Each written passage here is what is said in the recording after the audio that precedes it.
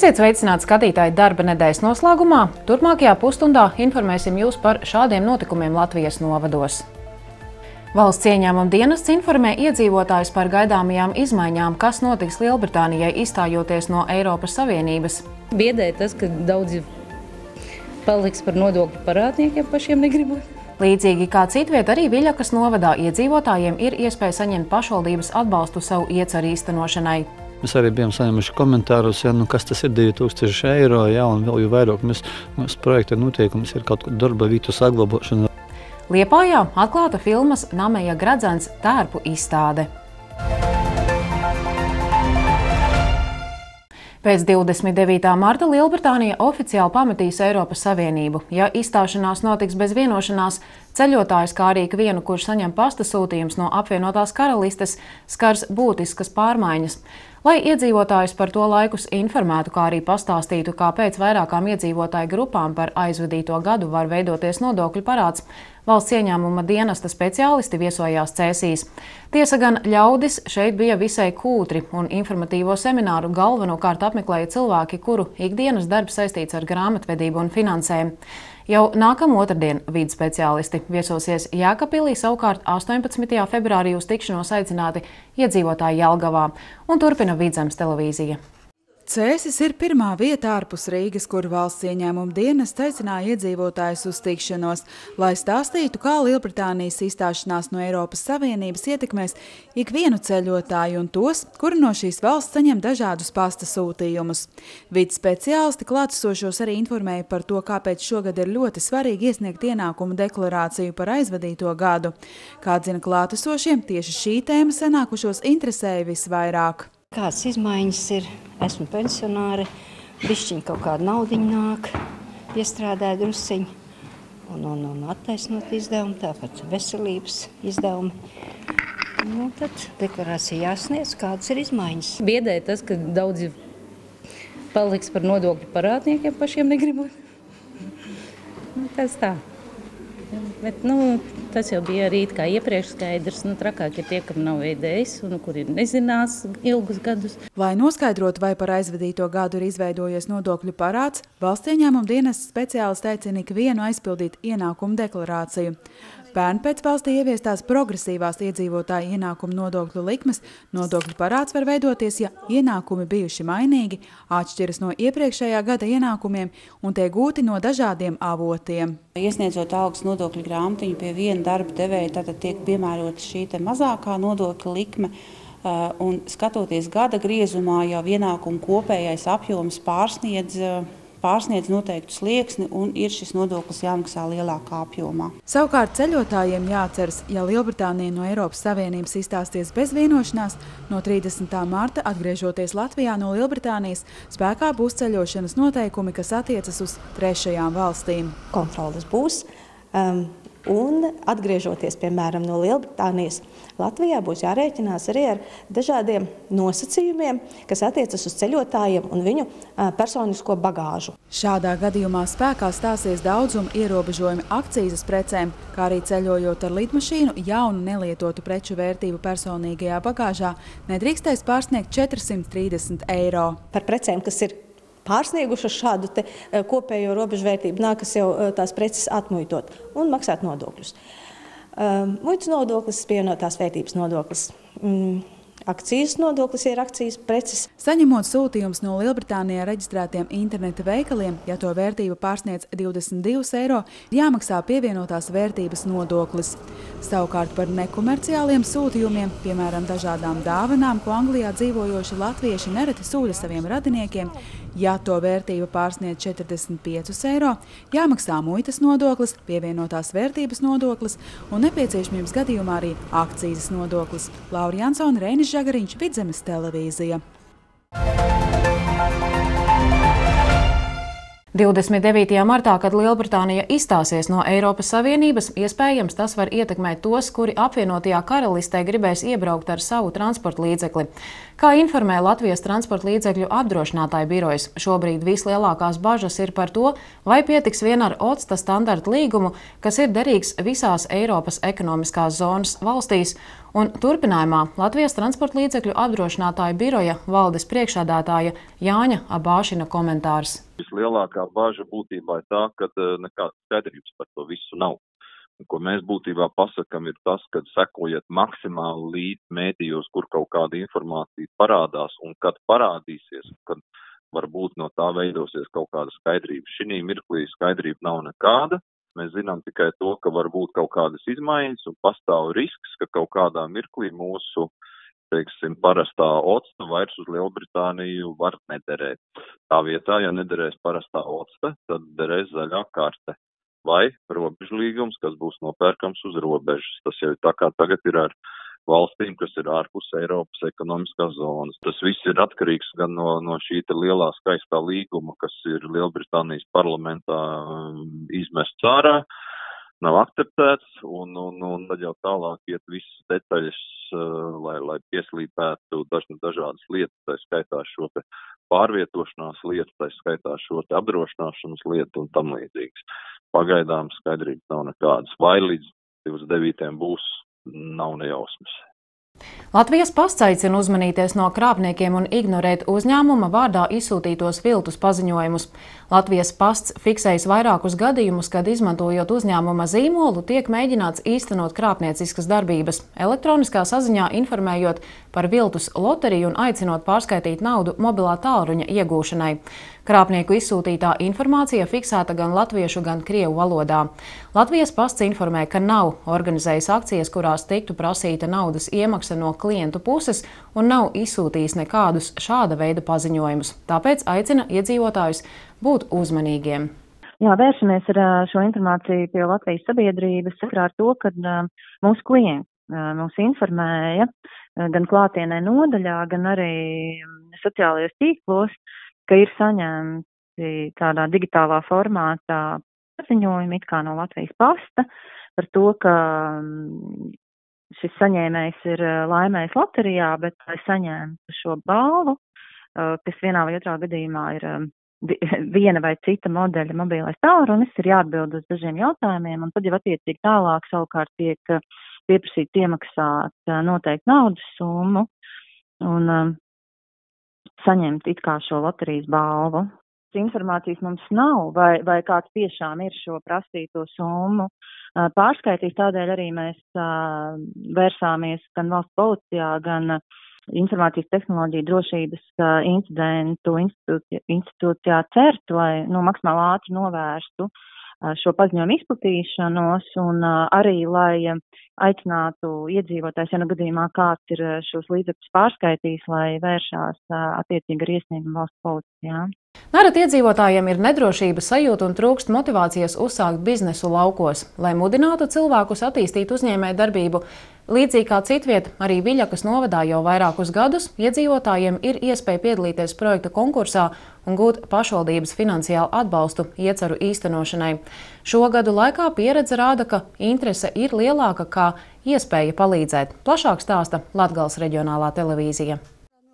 Ar Aiju Pumpuri tiekamies pie viņas mājām Viļakas novada Vilkovā. Te Aija jau trešo gadu attīsta savu uzņēmēju darbību maizes un konditorejas izstrādājumu cepšanu. Pirms tam Aija bija pasniece Latvijas pastā, taču pēc 17 nostrādātiem gadiem viņa bija spiesta šo darbu pamest. Tur tā kā mainījās tās slodzes griezu nost, palika 0,1 un, un es aizgāju prom no pastā. Tad, protams, bija bezdarbnieki, un tur piedāvāja, kā parasti mācīties kaut ko. Nu, tā kā es gribēju kaut ko, vai nu pavārus, vai ko teicu, mazbērniem iemācīšos pareizi vārīt ēst, bet pavāru tad nebija. Bija tikai konditori, nu, un es aizgāju uz tiem konditoriem. Neaizbraukt prom, bet uzsākt savu uzņēmēju darbību laukos, mudināja arī iespēja piedalīties Viļakas novada domes projektu konkursā Viļakas novada uzņēmējiem. Par saņemto finansējumu māja iegādājās vajadzīgo inventāru maizes un konditories izstrādājumu cepšanai. Sākotnēji pašai gan piedalīties konkursā un rakstīt projektu bija bail. Lielu atbalstu snieguši bērni. Bērni pierunāja visus tos PVD, sākt iet un visu pārējo. Piedalīties vajag obligāti, ja grib kaut ko darīt. Tikai vajag, nu jā, galvenais ir saņemties to drosmi. Lai pārunātu arī citus veiksmes stāstus un dalītos pieredzē, Viļakas novada domē notika sanāksme, kurā tikās pašvaldības grantu ieguvēji. Tai sekoja vizītes pie jaunajiem uzņēmējiem. Mēs arī bijām saņēmuši komentārus, ja, nu, kas tas ir 2000 eiro, ja, un vēl jau vairāk mēs, mūsu projekta noteikums ir kaut kāda darba vietu saglabāšana, radīšana, ja, un kā, ko tu vari radīt vai saglabāt par 2000, ja, bet šobrīd redzam to, ka tomēr uzņēmējiem ir vajadzīgi šie projekti, kaut vai porvariet bailes, tos, ka nu, re, vai, vai izdevums, neizdevums. Finansējums konkursam Viļakas novada uzņēmējiem pašvaldības budžetā tiek ieplānots jau trīs gadus. Pirmajā gadā tam tika atvēlēti 10 tūkstoši eiro, pērn 16 tūkstoši eiro, taču ikreiz konkursam iesniegti vairāk projektu pieteikumi nekā finansiāli ir iespējams atbalstīt. Tas liecina par lielo interesi attīstīt savu uzņēmēju darbību arī laukos. Kaut kuru gadu, vienu gadu mums bija daudz bitēnī, ko bija, bija redzēt, ir jāitkūpi, bija kaļēji, jā, un patiesībā ļoti, ļoti plaši mēs neierobežām, šo arī IT speciālisti bija, un pat arī mežanīkie, jo, kas varbūt tajā brīdī ir aktuāls, Moskvas cilvēku uzskata, ka turismas ir biznes. Gribam šos stereotipu lāst, un paredzēt, ka turismas arī ir biznes. Triju gadu laikā finansiālu atbalstu uzņēmējdarbības uzsākšanai guvuši 23 projekti. Lai gan šī gada Viļakas novada pašvaldības budžets vēl nav pieņemts, jau tiek meklētas iespējas konkursa grantu palielināšanai. Beatrice Jakobsone, Andrejs Mažāns, Latgales reģionālā televīzija. Pārtiks un veterinārā dienesta inspektori šajā nedēļā konstatējuši 24 jaunus Āfrikas cūkumēra saslimšanas gadījumus meža cūku populācijā. Tostarp pirmo reizi vīrus konstatēts vienai meža cūkai Jēkabils novada Rubenes pagastā, kur iepriekš saslimšana netika konstatēta. Līdz ar to meža cūku populācijā Āfrikas cūku mēri šogad kopumā konstatēts 103 meža cūkām 38 novados un vienā pilsētā. Āfrikas cūku mēris Latvijā pirmo reizi tika reģistrēts 2014. gada jūnijā trim meža cūkām dažus metrus no Baltkrievijas robežas. Centrālā statistikas pārvalde no 1. februāra sāks veikt ikgadējo iedzīvotāju aptauju par ienākumiem un dzīves apstākļiem. Aptaujā plānots aptaujāt apmēram 8000 maisaimniecību, kuras atlasītas ar nejaušas gadījuma izlases metodi. Respondentiem jautās par maisaimniecības sastāvu, personu sociālo-ekonomisko raksturojumu, mājokļa apstākļiem, ienākumiem, veselības stāvokļa pašvērtējumu, kā arī par sociālās atstumtības un materiālās nenodrošinātības rādītājiem. Aptaujā aicināt piedalīties iedzīvotāji, kuri saņēmuši centrālās statistikas pārvaldes uzaicinājuma vēstuli. Līdz 14. februārim iedzīvotāji varēs aizpildīt aptaujas anketu arī tiešaistē centrālās statistikas pārvaldes mājaslapā. Ja respondents nebūs aizpildījis anketu tiešsaistē no 1. marta līdz 30. jūnijam, statistikas pārvaldes intervētājs ar viņu sazināsies pa tālruni vai ieradīsies klātienē. Pirms tam aptaujā iekļautās personas saņems centrālās statistikas pārvaldes vēstuli, kurā norādīts plānotais intervijas laiks un intervētāja kontakta informācija. Ierodoties klātienē, intervētājs uzrādīs darba apliecību ar fotografiju. Brīvdienās gaidāmā atkušņa laikā īpaši slideni kļūs Grants Saguma ceļi pārsvarā vietējās nozīmes. Tā informē uzņēmumā Latvijas valsts ceļi. Kūstošā piebrauktā sniega kārta kļūst ļoti slidena, jo sala laikā kaisīto smilti no ceļa noskalo kūstošais sniegs vai lietus. Lai uzlabotu braukšanas apstākļus, piebraukto sniega kārtu uz grants autoceļiem rievo, taču kūstot sniegam izkūst arī rievas. Savukārt naktī un rīta stundās, kad temperatūra noslīd zem nulles, izkusušais sniegs atkal sasalst un veidojas apledojums. Tādēļ Latvijas valsts ceļi aicina autovadītājus būt īpaši uzmanīgiem, braucot pa vietējās nozīmes autoceļiem. Pastendes pamatskolā kopā sanākuši skolotāji, skolēni un viņu vecāki, lai diskutētu par skolas tālāko attīstību. Šāds pašu fórums Pastendes pamatskolā notika otro reizi. Iepriekš bija pirms diviem gadiem, kad apmainoties viedokļiem, tika kopīgi izstrādāts attīstības plāns līdz 2018. gadam. Par šādu skolas attīstības plānošanas pieredzi Talsu televīzijas sižetā.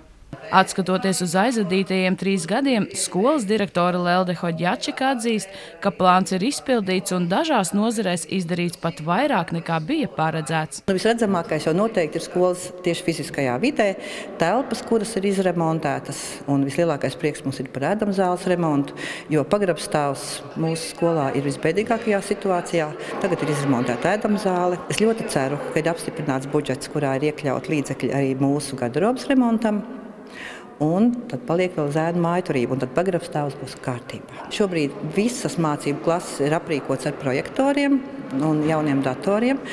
Ir četras interaktīvās tāfeles. Cenšamies arī vienmēr jaunas mācību grāmatas iegādāties. Ļoti izvērtējam, kāda mācību līdzekļi ir vajadzīga, vai tiešām ir vajadzīgs šis darba būtnīcas, varbūt vajag ieguldīt kaut kur, kaut kur ilgtermiņā. Ļoti veiksmīgi ir atsevišķi projekti, Šeit bija Latvijas valsts meža projekts, kurā piedalījās mūsu bioloģijas skolotāji kopā ar skolēniem. Pirmajā gadā, acīm redzot, iesācēja veiksme. Mēs republikā dabūjām pirmo vietu, naudas balvu, kur bioloģijas kabinetā mēs iegādājāmies jaunus mikroskopus. Skolā ļoti labi darbojas programma, kuras laikā skolotāji dodas vērot viens otra mācību stundas, tā iegūstot jaunas idejas mācību vielas pasniegšanai. Pagājušajā gadā pie mums, kad strādāja jauna mācību pārzine, kura ir arī eksperti šajā kompetencijā, kompetenču eh, izglītībā.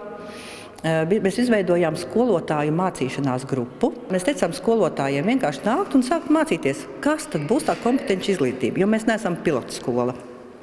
Bet, jebkurā gadījumā mums tas būs jāizdara. Un, jo mēs ātrāk sāksim, jo mums ātrāk arī labāk tas darbs aizies uz priekšu. Arī šogad šī mācīšanās grupa turpina savu darbu, un ir pievienojušies vairāki kolēģi. Tad mēs rudens brīvlaikā radām iespēju doties uz vienu no pilotskolām uz Vēncpils pirmo pamatskolu. Mums novadīja meistarklasi eh, tādā jomā, kas saucās mācīšanās iedziļinoties. Mums pašiem bija ļoti interesanti, kā skolēniem tur būt.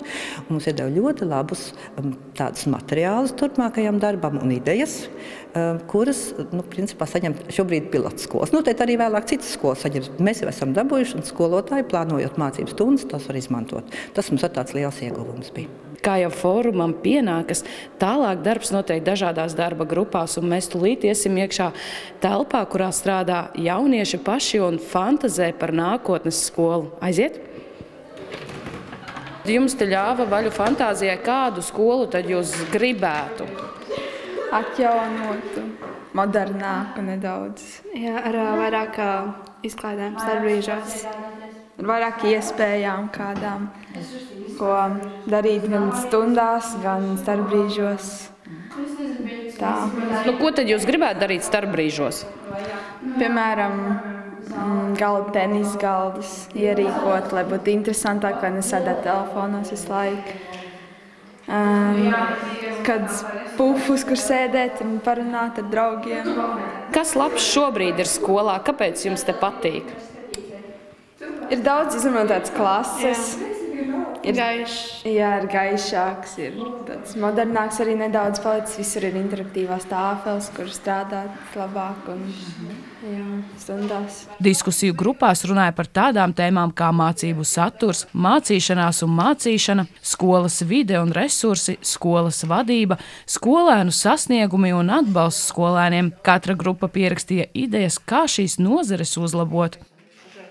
Nekad nav tā, ka nevarētu vēl labāk. Un, un lai mums izdotos skolas vidi radīt vēl atbalstošāku gan skolēniem, gan vecākiem, arī pedagogiem, mums tiešām ir vajadzīgs nākt kopā un domāt, kas vēl ir nepieciešams.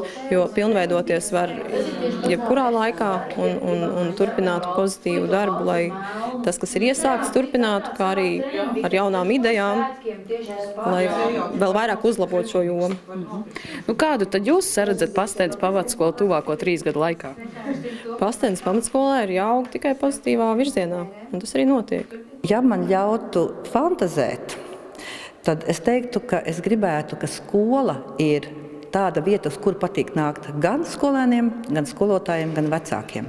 Un beigu beigās mēs ļoti lielu darba, vispār dienas laiku pavadām darbā, un tāpēc arī būtu ļoti svarīgi, ka skolotājiem ir labi darba apstākļi.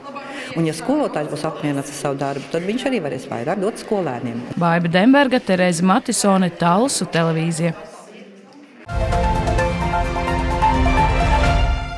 Šodien Liepājas Latviešu biedrības namā atklāta filmas Namaja Gradzens tērpu izstāde. Filmai kopumā radīti 300 autentiski tērpu komplekti, bet izstādē būs apskatāmi krāšņākie no tiem.